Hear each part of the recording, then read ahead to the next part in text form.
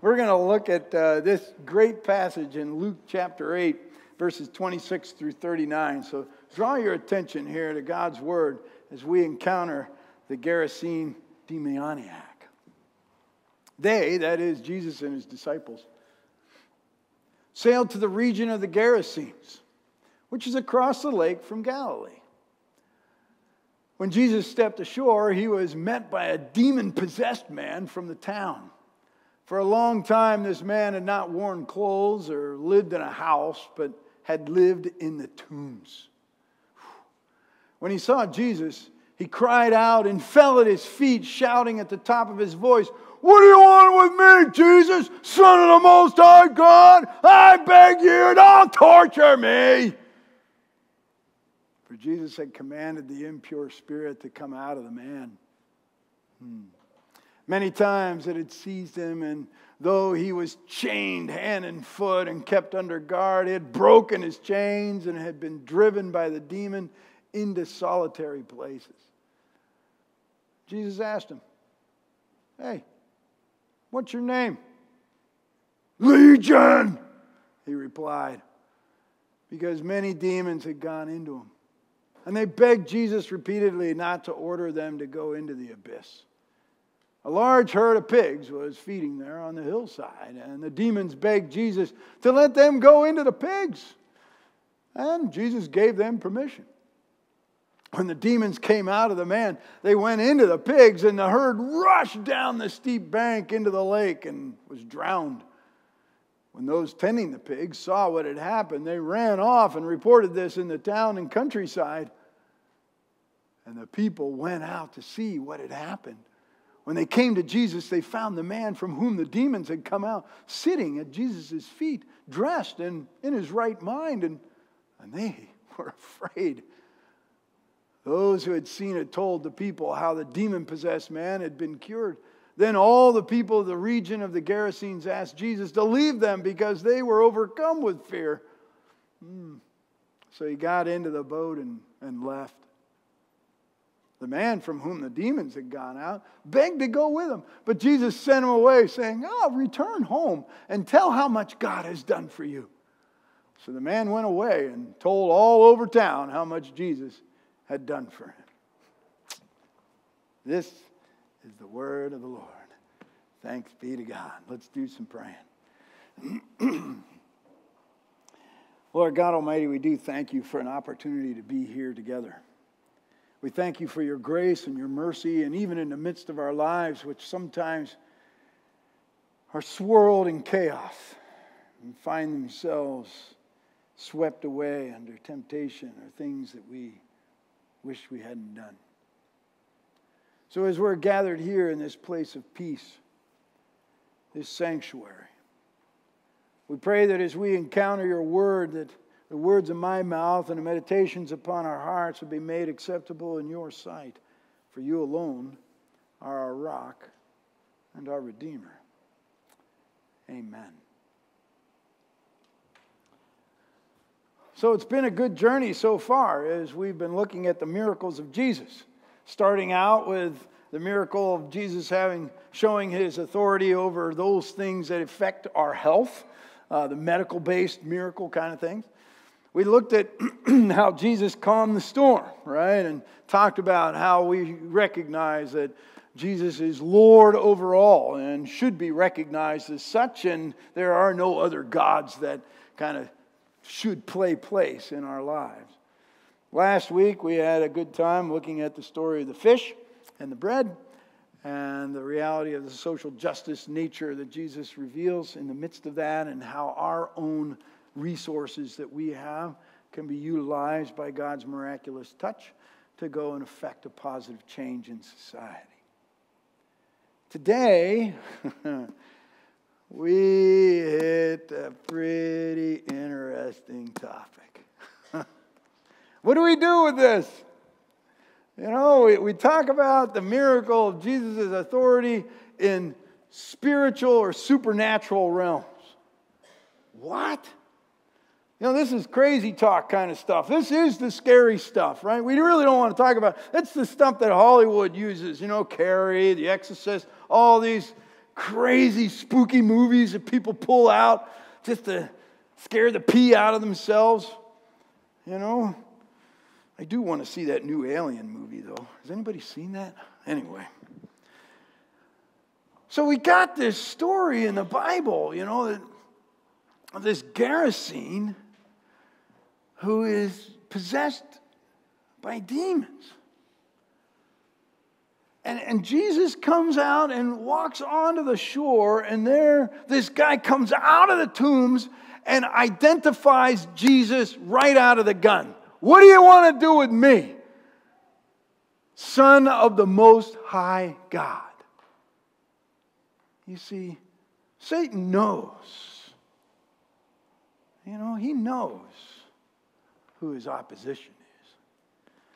And Jesus stands there and confronts this, right? Calls it out. And sure enough, those demons plead and they end up running into the pigs, and there's a stampede down into the lake. A man left there in his right mind. Ah, Ted, come on. That's just a story. That's a myth. You know, you can't really bank on that. What are you talking about? We all know nowadays we're a little bit more enlightened, and medical science has proven to us that ultimately that guy probably had disassociated identity crisis or phenomenon or disorder or whatever you want to use.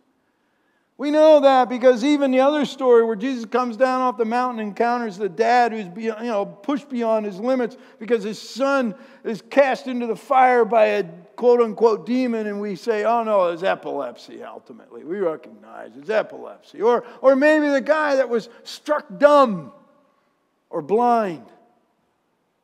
We know these things. There's a medical explanation behind these things. There are psychoses that is attributed to some of these realities. It's not that inexplicable anymore. And we know that back in the day, in the ancient times, whenever somebody encountered something that was inexplicable or beyond our ability to fully comprehend, we just put it into the giant pot of, well, that's, you know, that's a demon possession. That's something funky out there. We, you know, we'll just classify it there because we don't know what else to do with it. Yeah. That's what's happening here, right? You know, there's that demons. Come on. Don't want to go there. That's a scary place. It doesn't make sense. No such thing. Hmm. Yeah. But then we got to realize there are some folks, even Harvard trained, Yale trained, psychologists, psychiatrists who have come to recognize that yes, this is a reality. Now, this guy is being mocked and, and questioned by some of his peers because he is willing to step into that reality of saying, yes, there's, there is demon possession that exists. And he works with those who go about doing exorcisms. Dr. Gallagher.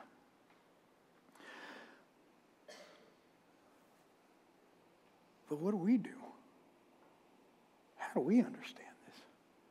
You know, Ted, that's, that's really scary. This idea that people could be possessed by something beyond what could be medically explained. How do we understand this? Well, I think first and foremost, it's viable and very important for us to say that, well, if we recognize that Jesus is Lord over all things and that there is a spiritual component to life, and we're willing to acknowledge that existence, then there must be, just by default, a reality that there are spiritual forces that are working against the kingdom of God and working against what the Lord Jesus Christ seeks to promote. And this is precisely what Paul warns the church of Ephesus about. And he tells them, Put on the full armor of God. There he is. He's chained to a Roman guard in a prison, and he's looking at this guard with all his garb. And Paul, you know, says, Hey, you know, put on the helmet, you know, put on the breastplate, put on all these things, a belt, all these things. And he's giving it a positive attribution of how we should gird ourselves against what? The spiritual warfare that is out there because he, he warns and you know, confronts the Ephesian church to say, you know what, it's not a battle of flesh and blood that we are fighting, but one of powers and principalities. And there's a realness to this. You know, James puts out a type of, you know, admonition, advice to the church. You know, watch that you're not lured away by Satan. And Peter puts in this great imagery. I think I've referenced this before to you folks. You know, he says, Beware. you know, Satan is like a roaring lion looking for somebody to devour. And, you know, I, the, the image that I so readily capture for this is remember in the movie Lion King, you know, there's Zazu, I think was his name, and kind of put up there by the, the the big dog lion, what was his name, Simba or something. You know, there he was. He and takes Zazu and says, All right, I want you to hang out here. And he's trying to teach his little pup how to pounce, you know. And there's Zazu. He's all nervous. He's like, I hate this. I hate this. And meanwhile, there he is. He's kind of like crouched down in the grass and his shoulders are. And all of a sudden, pow, out of nowhere, you know, here comes the lion. And it's the truth. This is exactly how we understand Satan works in our lives, too. Out of nowhere, pow, we get taken out. And we recognize that, yes, there is a spiritual warfare that takes place in our lives daily as we face our temptations, as we face the things that cause us to be distracted away from doing that which furthers the kingdom of God. If we're honest with ourselves, we would recognize that yes, each day there is a struggle, there is a, a, a, recognition that temptation comes. And when temptation comes and we entertain that temptation, whatever it may be, a temptation that would be counter to what the Lord Jesus Christ has revealed as activity, as behavior, as thoughts that would further the kingdom of God. If we entertain any of that temptation that goes against what Christ has outlined as what is beneficial for the larger community and your relationship with Him, then that introduces chaos, right? Without question. We know that. We can see it. Chaos comes in when we entertain the temptation into our lives. And this is all Satan seeks to do. He doesn't want a relationship with you. You know, people say, I sold my soul to the devil. You know, what do you mean? All you did was you gave yourself up to the reality that you're not going to do that which is going to bring glory and honor to God, and that is now being utilized to further chaos. And your life turns into a chaotic mess of disaster. And all it does is breed chaos. And it's unfortunate, even as we see with this Gerasene demoniac. And his life is chaotic. It's a disaster. He has been banished. He has he is suffering. He is not living in a home. He's living in the tombs. He has no idea even how to groom himself anymore. His life has been handed over in the world of chaos. It's a disaster. And how much of that, whether or not, is the effect of a temptation that he's embraced, or the fact that, yes, this demon has come in and taken over his life. The bad is evident. And Christ comes. And what does Christ do? Christ comes and brings about peace. Christ introduces the peace that brings hope and security. And for us, as we recognize in our own lives what it is that we may be encountering, we likewise see the value of being in relationship with the one who can show authority over those things that would seek to distract us away from a relationship with God. From those things that would pull us from the kingdom of God. I don't know about you, but there are people who are in other worldly contexts who will certainly attest to the fact that yes, there is a very real presence of the demonic that is out there that affects people and creates chaos within the larger community. We don't see it that much here because we'd like to discount it or we've found ourselves in our own little bubble of security. But if we were to open ourselves up to the larger image, or if we talk to people who have been in these other contexts across the globe, they would bear witness to the fact that this stuff actually does exist. And so, what do we do with that, and how do we understand it? I think we come to it from this vantage point of this story, and even as the Syrophoenician woman who comes and pleads to Jesus and says, Oh, please heal my daughter who is suffering as well because of some demon possession that has happened in her life. Who knows what the issue is? And we know that story. Jesus is like, Nah, come on, I'm here to help these guys. And she goes, Oh, geez, even, even the dogs get the crumbs. And he says, Man, I haven't seen faith like this. I'll tell you what, go. Be at peace. Your daughter is healed. Instantly, she was at peace. And imagine being that man and the, the Gerasene man who experienced the love of God, who came into his life and filled him with peace. You see, likewise for us, as we journey through our own personal hell, we all do it. We all face our own struggles. As we journey through our own personal hell, there is Jesus who is calling out to say, I can give you peace. Recognize the peace that I bring to you. And He'll secure that for you. This is what we know as we read this story. That's what this miracle story assures for us, my friends. That we're not alone, we're not cast off into an endless abyss of hopelessness, but there is a sense where we can come and be able to sit at the feet of Jesus in our right mind and remember how to groom ourselves and put clothing on. There's something powerful about that, right?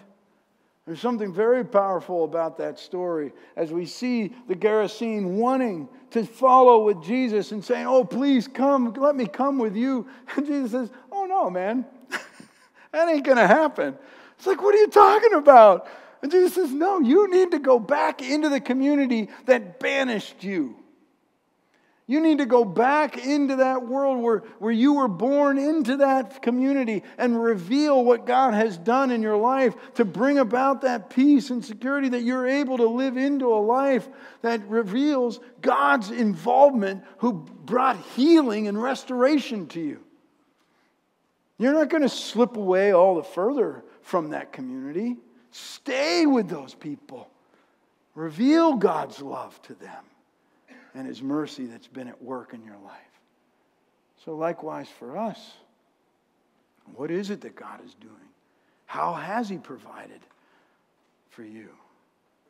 And how are you bearing witness to what Christ has done in the midst of your own temptations that you face, the trials that you endure, the sufferings that you are encountering, the things that seek to bring chaos into your life? Where have you laid yourself before the providential hand of God and recognize that He is exercising His authority even over that which may seem inexplicable? The spiritual realm, the place that's very scary. That's where Jesus lives as well. Because he proves himself triumphant over the darkness. Friends, we live in peace because the Lord Jesus Christ reigns in power and authority to give us hope. Amen. Let's pray. Lord God Almighty, we thank you so very much for this, this miracle story that reveals your authority and power over all things, even into the world of the unknown, the inexplicable, the place that we don't even want to think about. We know that there are times when we encounter temptations that enter into our lives. We know that there are things that we see that we don't understand. We see evil. And we pray, Lord God Almighty, that you would come and bind Satan. And that we would be able to experience your peace even in the midst of the chaoticness of our lives. We would surrender that over and see a stampede exodus of that which causes division and strife in our lives so that we'd be able to find peace in the midst of your embrace. All this we pray through your Son, Jesus Christ. Amen. Well, my friends, what a good thing it is to be able to stand before the presence of God, knowing that He has delivered us from those things that cause us pain, those things that cause us anxiety, that He has given us an identity, He has given us purpose. And so, with that, we give thanks. And this is our opportunity to return to God that which He has graciously given to us as even a tangible expression of that thanks and the responsibility to see the ministry of this church going forward out into the world. Let us receive our tithes and offerings. Please join in singing until the whole world hears.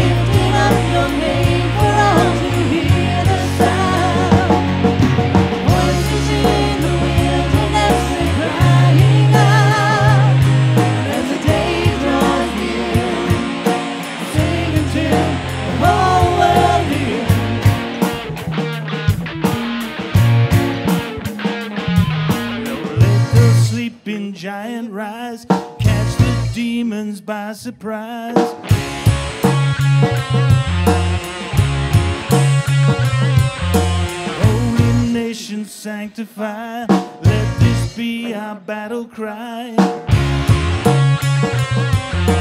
Radio Fair.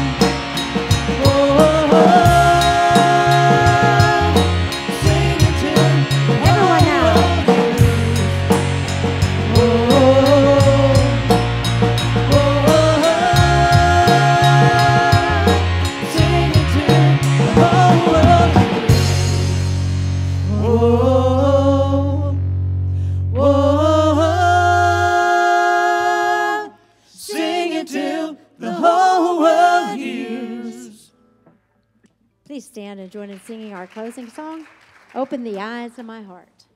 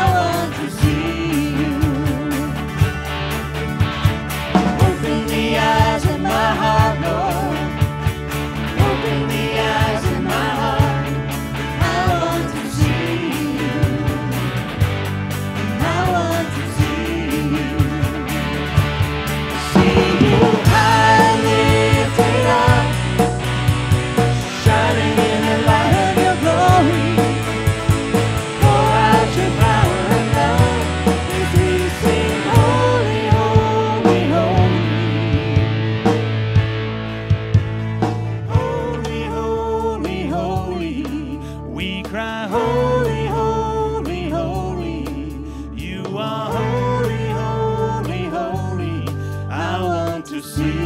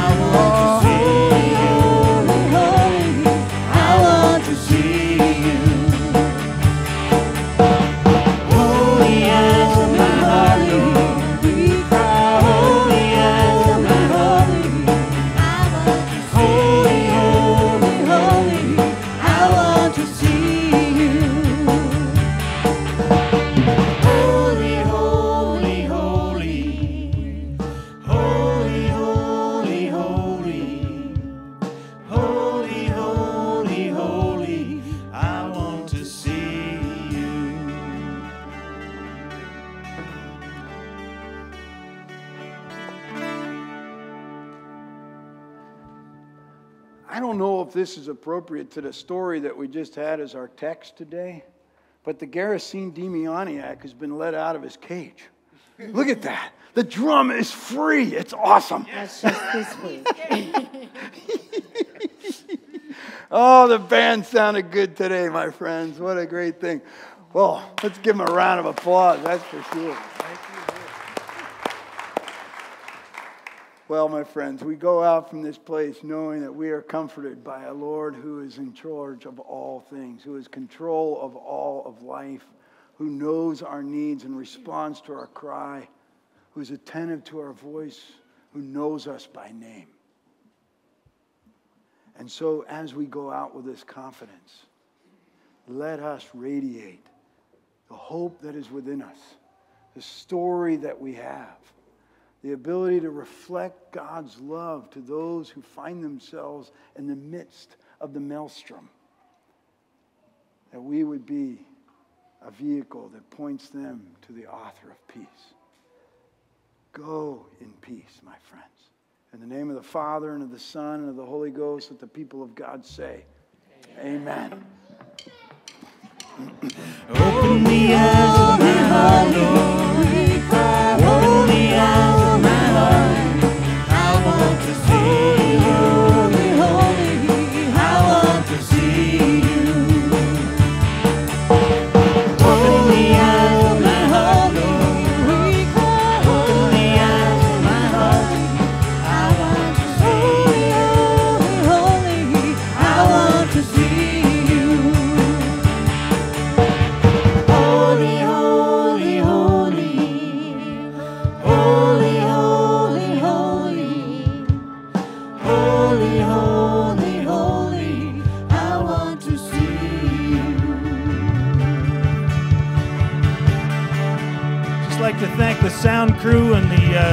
Visual crew up there too. Without them, we'd be we wouldn't be here. So thank you guys. Thanks, guys. Leave the chairs. Oh, before you take all the tables and chairs down, this week we can leave them all up. So, leaving it all up. Leaving it all up. All up.